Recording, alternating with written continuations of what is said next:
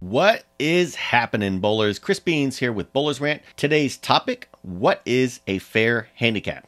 Okay, so something I've been hearing about all season is how bad handicaps are, and people are grumbling about it.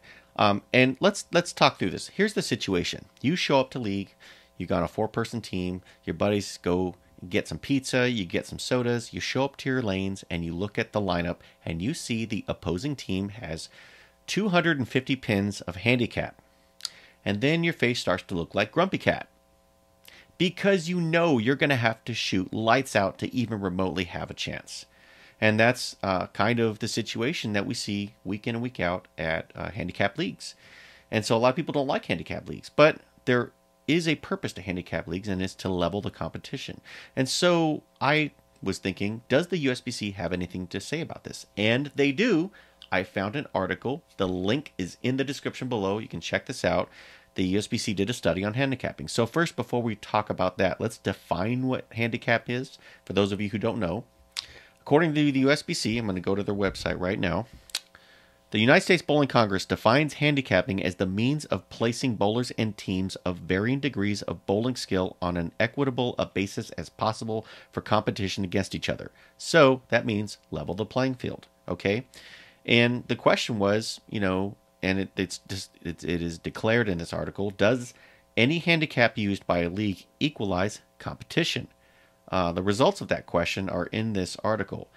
The results of an extensive four year study of handicap leagues, mixed, all women, and all men, disclosed that the handicap percentages 75%, 80%, and 90% do not achieve this goal as illustrated by the results from the study as follows. So let's pause for a second. Handicap, let's say the base average, the base score is 200, and you have a 120 average bowler, they're going to get 80 pins assigned to them, so their score would equal 200. That's kind of how the logic goes. You're not going to always score 200. You're just going to get an assigned amount of pins based on your average if it's below the base score. All right. So here on, we're looking at this table now on the USBC, and we'll use the uh, 90% um, base uh, handicap percentage, where they said 90% of handicap used, 11 out of 100 teams would win. And then the people who are above the 200 score, 89 out of 100 would win.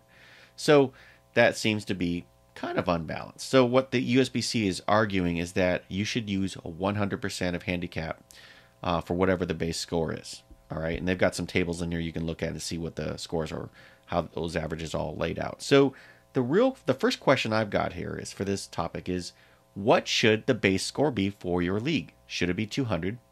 Should it be 210? Should it be 220? Or should it be 230? How do you know what the right uh, score is to use? And a lot of uh, leagues, what they'll do is they will take the average of the highest scoring bowler uh, for the previous season and use that as the as the as the base, right? And sometimes that's not realistic because sometimes you get some guy in there who's a 240 guy who just steamroads everybody, right? So that's not going to be real realistic, or maybe it is. It just depends on you know what you feel is fair.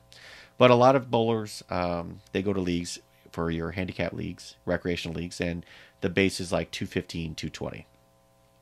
Okay, cool.